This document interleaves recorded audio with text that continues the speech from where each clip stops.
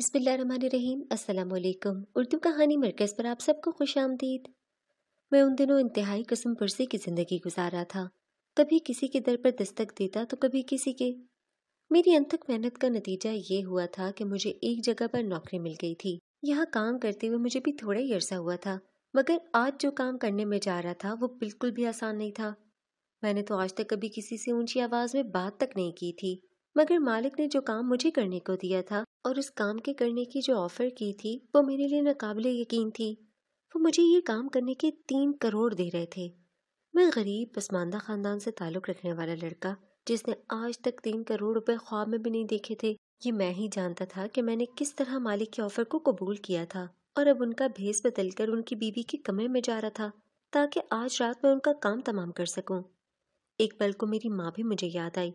मगर ये सब भी तो मैं अपनी माँ के लिए कर रहा था, ताकि हमारे हालात बेहतर हो सकते और हम भी ऐशोशत की ज़िंदगी गुजार सकते।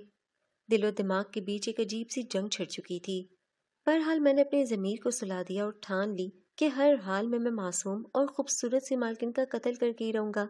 मुझे वो वक्त याद आने लगा जब मालिक ने मुझे ऑफ़र की थी। उस दिन महीने की पाँच तारीख थी और हमेशा की तरह आज हम सबको तनख्वाह मिलने वाली थी। सारा दिन मैंने बड़ी बेसब्री से रात का इंतज़ार किया था। क्योंकि मुझे यहाँ काम करते हुए तीन माह हो चुके थे। मालिक हर महीने हमें वक्त पर तनख्वाह अदा कर दिया करते थे। मेरी तनख्वाह मुनासिब सी थी, मगर उसके बावजूद मैं अपने रब का शुक्र गुजार था। मेरी रिहाइश और खाना पीना यहाँ कोयत में मालिक के बड़े से घर में मुफ़्त था, इसलिए मैं अपनी तनख्वाह का ज़्यादातर हिस्सा अपनी अम्मा की तरफ़ भेज दिया करता, क्योंकि मैं अपने घर के हालात से बखूबी वाकिफ था। मेरी उम्र कोई लगभग इक्कीस बाईस साल थी। मैं सभी मुलाजमों से पहले मालिक के कमरे में गया था। मगर मालिक सबको तनख्वाह देते रहे और मुझे एक जानब अलग से खड़ा कर दिया। मेरे लिए ये बात बड़ी परेशान कन थी। कहीं मेरा काम मालिक को पसंद ना आया हो, शायद इसीलिए उन्होंने मुझे अलग खड़ा कर दिया था। कहीं वो मेरी तनख्वाह से पैसे ही न काट लें। इस तरह के कई वसे से मेरे दिल में आने लगे थे। जब सभी मुलाजमों को फारिग करके मालिक ने वहाँ से भेजा तो मुझे वहीं रुकने का कहा। वो सामने सोफे पर बैठे टिकटिकी बांधे दीवार पर लगी घड़ी को देख रहे थे। सभी मुलाजमों के जाने के बाद कहने लगे, कासिम दरवाज़ा बंद कर दो। उनका लहजा बड़ा ही मानी खैस था। मैंने उनके हुक्म की तामील करते हुए दरवाज़ा बंद कर दिया। दरवाज़ा बंद करना था कि वो उठकर चलते हुए मेरे पास आ गए। फिर कहने लगे, कि अब जो मैं तुमसे कहने लगा हूँ, तुम उसे पुरसकून होकर सुनना। उसमें तुम्हारा ही फ़ायदा होगा। तुम्हें ज़िंदगी भर किसी के आगे हाथ नहीं फैलाने पड़ेंगे। वो मेरे सामने ऐसी कई बातें कर रहे थे, जबकि मैं हैरत से उनका चेहरा देख रहा था। आखिर मुजदना से नौकर से मालिक को ऐसा क्या काम पड़ गया था, जो वो मुझसे इस कदर तमहीद बाँध कर बात करने वाले थे? जहाँ तक मुझे याद पड़ता था, मालिक तो हमें किसी खाते में नहीं लाते थे। सारा दिन मुझसे काम करवाया करते थे, लेकिन मालकिन रहम दिल थी, जो हमारा बड़ा ही एहसास करती थी। अगर वो हमसे ज़्यादा काम करवाते या तजलील करते तो मालकिन अक्सर उन्हें मना किया करती कि भले ये नौकर हैं, मगर है तो इंसान, इनकी भी इज़्ज़त नफ्स है। इस बात पर मालिक मालकिन को ही झड़कने लगते। मगर आज मालिक का रवैया बड़े ही हैरान कन था।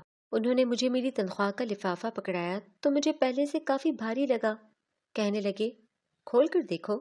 जब खोल कर देखा तो आँखें खुली की खुली रह गई थीं, क्योंकि वो जितनी तनख्वाह मुझे दिया करते थे, ये पैसे उससे डबल थे। मैंने उसकी वजह पूछी तो मालिक के चेहरे पर मुस्कुराहट आई। कहने लगे कि मैं तुम्हें एक बहुत ज़रूरी काम सौंपना चाहता हूँ। अगर तुम वो पूरा कर लोगे तो मैं तुम्हें माला माल कर दूँगा। इतने पैसे दूँगा कि तुम अपने मुल्क में जाकर सुकून की ज़िंदगी बसर कर सकोगे। मालिक का हर जुमला मुझे तजस्स में मुबतला कर रहा था। मैं फ़ौरन सर झटक कर कहने लगा कि, साहब, आप क्या कहना चाहते हैं? जो भी कहना है, साफ़ अल्फाज में कहिए। मुझे आपकी बात समझ में नहीं आ रही। अगले पल उन्होंने जो लफ्ज बोले, मेरे पैरों तले से ज़मीन निकल चुकी थी। मालिक कहने लगे कि, तुम मेरी बीवी का कत्ल कर दो। उसके बदले में मैं तुम्हें तीन करोड़ रुपए दूँगा, जो कि शायद तुम्हारे लिए काफ़ी होंगे। तीन करोड़ का सुनकर मेरी आँखों के आगे तारे नाचने लगे। हैरत से फटी हुई आँखों से मालिक का चेहरा देखने लगा। मैं दो कदम पीछे हटा था। मेरी तनख्वाह मेरे हाथ से छूट कर गिर चुकी थी। मुझे लगा जैसे मैंने कुछ गलत सुना मैं कहने लगा कि मालिक, आप ऐसा कैसे कह सकते हैं? मैं और कत्ल, वो भी मालकिन का? मालिक के चेहरे पर एक गहरी मुस्कुराहट छाई थी। कहने लगे हाँ अगर तुम मेरा ये काम कर दोगे तो मैं तुम्हें तीन करोड़ रुपए दूँगा। फिर सोचो, तुम्हारी ज़िंदगी में किस कदर खुशियाँ आ सकती हैं। तुम हर चीज़ खरीद सकोगे। तुम्हारे यहाँ से वापस जाने की ज़िम्मेदारी भी मेरी होगी। कितनी ही देर तो मैं कुछ बोल ही न पाया। मालिक ने ज़मीन पर गिरे पैसे उठाकर मेरे हाथ पर रखे और मुझे वापस भेज दिया। कहने लगे कि कोई जल्दी नहीं, तुम जितना चाहो वक्त ले लो और सोचकर मुझे बता देना। मेरे पास लोगों की कमी नहीं है, मगर इसमें तुम्हारा ही फ़ायदा है। ये सुनकर मेरे कानों से धुआँ से निकल रहा था। मैं उस कमरे से निकलने लगा तो एक मरतबा फिर मालिक ने मुझे मुखातिब किया। कहने लगे, उम्मीद करता हूँ कि ये बात हम दोनों के बीच में रहेगी। अगर तुमने मालकिन को इस बारे में भनक भी लिखने दी या मेरे खिलाफ कुछ भी कहा तो मैं कुछ भी करने की ताकत रखता हूँ। यहाँ बैठे बिठाए मैं तुम्हारे घर का नाम पता निकलवा कर जो कर सकता हूँ, उसके बारे में तुम सोच भी नहीं सकते। मालिक के अल्फाज सुनकर तो मेरी रीढ़ की हड्डी में सनसनी सी दौड़ चुकी थी। मैंने अपना खुश खलक तर्क किया और वहाँ से निकलकर क्वार्टर में चला आया। बज़ाहिर तो मुझे अपनी डबल तनख्वाह देकर खुश होना चाहिए था, मगर मालिक की बात ने तो जैसे मेरी सारी खुशियों पर पानी फेर दिया था। मैं बदहवास अपने क्वार्टर में आकर बैठ गया और सोचने लगा कि आखिर मालिक ऐसा कैसे कह सकते हैं। पिछले तीन माह से मैं यहाँ काम कर रहा था और मालिक और मालकिन के बीच मोहब्बत देखकर तो मुझे उनकी किस्मत पर अश्क आता था। कितनी खुश नसीब थी वो जो उन्हें इतना मोहब्बत करने वाला शौहर मिला था।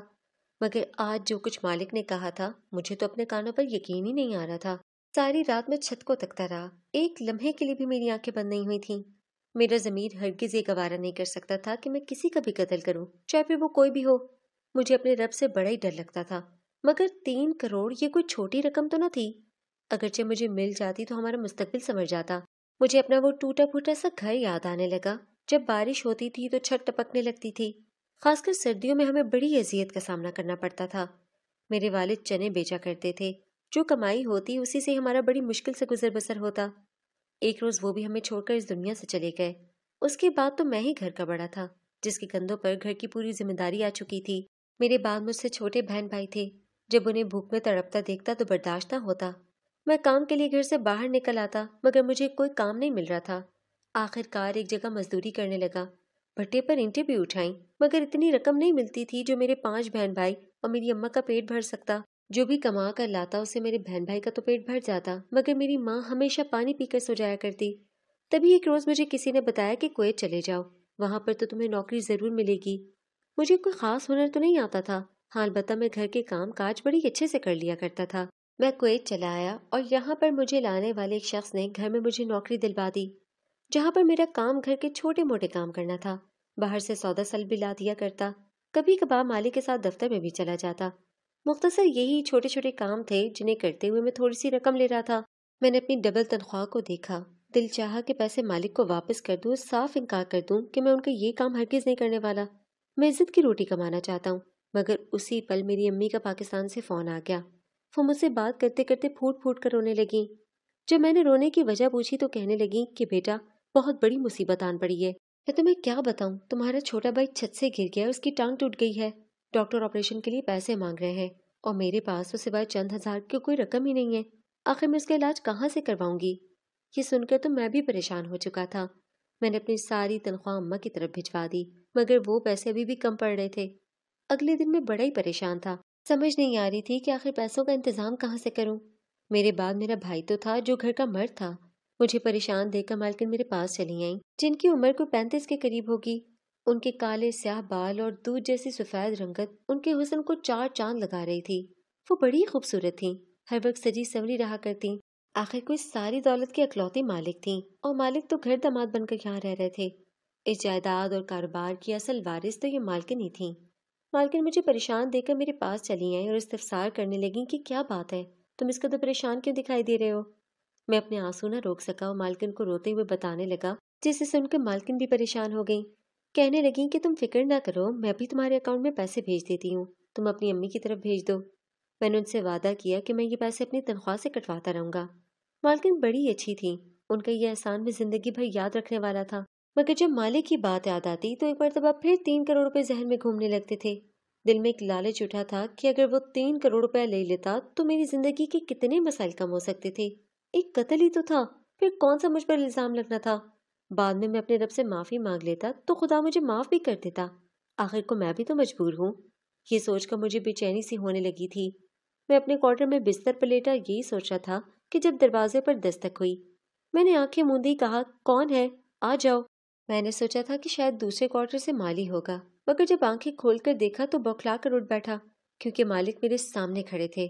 कहने लगे तो फिर तुमने क्या सोचा? कब तक कर रहे हो मेरा काम? अगर तुम चाहो तो तीन करोड़ के बदले और जो चाहो तुम्हें देने को तैयार हूँ, मगर तुम्हें हर हाल में मालकिन का सफाया करना होगा। मेरा लालच सर उठाने लगा और ज़मीर सोने लगा। मैंने फ़ौरन हाँ कर दी। मैंने कहा कि आपने जो कहा है मैं वो कर दूँगा, मगर मेरी हिफाजत की ज़िम्मेदारी फिर आपकी होगी। ये सुनकर तो मालिक की आँखों में चमक उठी थी। कहने लगे, तुम बेफिक्र रहो, मैं तुम्हें बाहिफाजत तुम्हारे मुल्क पहुँचा दूँगा। बस मेरा काम होना चाहिए। इसके बाद जो बात उन्होंने कही, वो सुनकर तो जैसे मेरी आँखें फटी की फटी रह गई थी। मालिक ने अपना सूट मुझे दिया और कहने लगे, ये सूट पहन लो। यही पहनकर मालकिन के कमरे में जाना और ये काम पूरा करना। मेरे दिल में ये सवाल अब सर उठाने लगा था कि आखिर इतनी अच्छी बीवी को मालिक क्यों मरवाना चाहते थे? मैंने तो आज तक मालकिन को मालिक पर कभी रोक जमाते हुए नहीं देखा था। वो तो बड़ी ही अच्छे अखलाक के मालिक थी। बड़ी प्यारी सी थी। तो भला मालिक इतनी मासूम लड़की को क्यों मारना चाहते थे? मैं इसी सोच में गुम था कि मालिक ने शायद भांप लिया। मेरी जानब देखकर कहने लगे, मैं जानता हूँ तुम यही सोच रहे हो कि आखिर मैं अपनी बीवी को क्यों मरवाना चाहता हूँ, मगर उसके पीछे भी एक गहरा राज है कि मेरी बीवी बड़ी खतरनाक है। तुम नहीं जानते ये मासूम सी दिखने वाली औरत कितनी बड़ी गुनहगार है।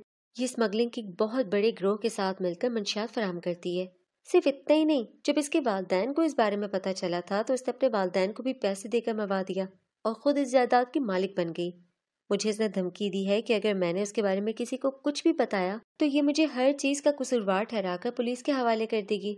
और फिर यहाँ के कानून के मुताबिक सिवाय फांसी के मेरी कोई सजा नहीं होगी। मालिक की बात सुनकर तो वाकई मेरे दिल में मालकिन के लिए नफरत आ चुकी थी। मैं सोच चुका था कि ऐसे बुरे शख्स के इस दुनिया में रहने का कोई हक नहीं है। मैंने उस रात बड़ी ही हिम्मत से मालिक के कपड़े पहने। रात होते ही मालकिन के कमरे में चला गया। वो वक्त वॉशरूम में थी, पानी गिरने की आवाज़ आ रही थी। जबकि मैं अपना हुलिया बिल्कुल मालिक की तरह किया कर बिस्तर में लेट गया। मेरे हाथ में चाकू था। मैं उसे मालकिन पर वार करके उनका काम तमाम करना चाहता था। थोड़ी देर बाद मालकिन वॉशरूम से निकली तो आकर बिस्तर पर लेट गई। उनका लेटना था कि मैंने चाकू निकाला और मैं अपना काम पूरा कर चुका था। मैं कमरे से बाहर आया और बदहवासी से मालिक को देखने लगा। मालिक सामने ही खड़े थे। कहने लगे, तुमने काम कर दिया?